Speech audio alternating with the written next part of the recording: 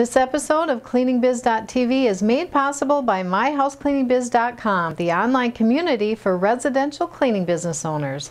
I'm Jean Hanson, and this is a show that will help turn your vision into a successful cleaning business.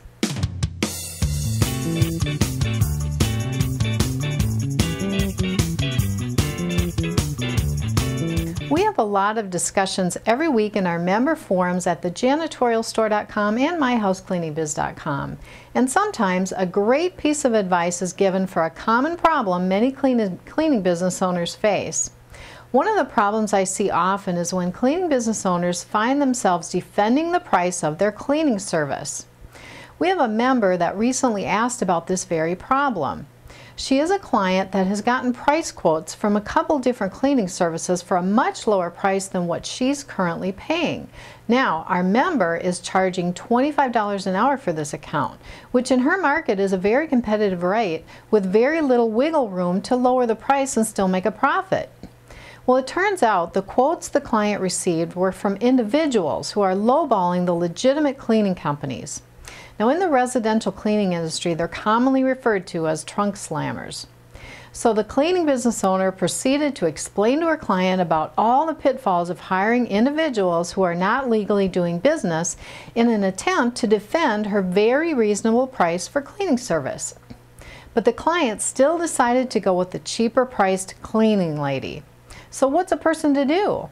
Well, a very wise business owner offered some great advice.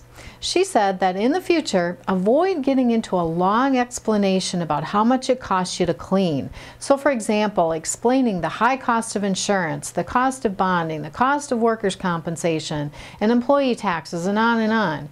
Because even though the insurance piece can be a big headache for the client down the road, right now she really doesn't care about all that.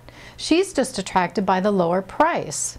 So instead of defending your price by explaining what all you're paying for, try taking a different approach. Say something like this.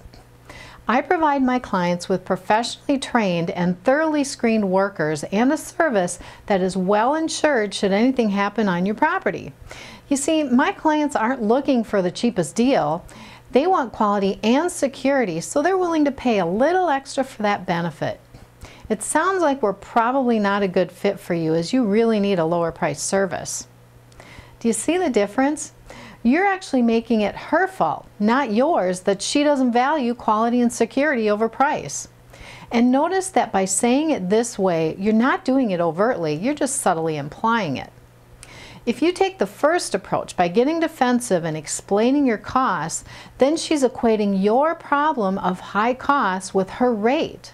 Instead, she needs to be reminded that she gets the benefit of using a service like yours, and your price is not that much more, so you're worth it. This is a firm but polite reminder that will get those that really do value quality and security to rethink their position. And for those that are just looking for cheap deals, good riddance. And something else to keep in mind when dealing with these clients. Keep it professional and keep it non-emotional. If you let them strike a nerve with you, it'll show when you start getting defensive. Let them know that the perfect client fit for you is one that truly values quality and security.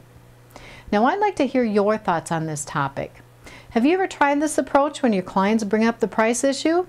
Or do you have other ideas that have helped you retain your clients regardless of a lower price competitor? Please share your comments by posting below the video at cleaningbiz.tv. That's it for today's show. If you're looking for additional help with starting or growing your residential cleaning business, myhousecleaningbiz.com is the place for people who are pursuing their dreams of owning a successful cleaning business.